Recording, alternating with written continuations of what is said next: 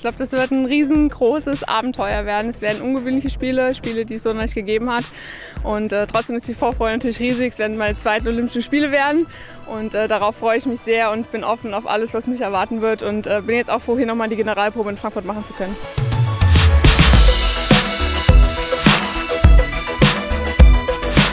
Glaube, man muss sich dieses Jahr ein bisschen davon frei machen, was so die ideellen Werte der Olympischen Spiele sind. Ich denke, wir können dankbar sein, dass überhaupt diese Spiele in dem Maße in dieser Pandemie überhaupt stattfinden können. Dafür sind wir sehr, sehr dankbar.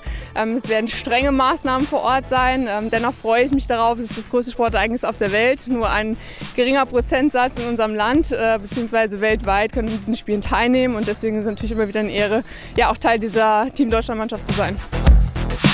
Ja, ich habe natürlich gesagt, so einen Medaillensatz voll zu machen, ist natürlich äh, für mich sehr, sehr wichtig und auch echt schön, nach einer WM-Medaille, EM-Medaille, äh, dann auch äh, nach olympischem Edelmetall zu greifen. Die ähm, Konkurrenzdichte ist sehr, sehr dicht beieinander, deswegen kann alles vor Ort passieren. Ich möchte natürlich ein Wörtchen vorne mitreden und die Tagesform wird abhängig davon sein, ob es für eine Medaille reicht, aber ich werde alles dafür tun, dass ich in der Verfassung bin. Caro, im Namen von Eintracht Frankfurt wünschen wir dir ganz, ganz viel Erfolg und ja, viel Glück. Dankeschön.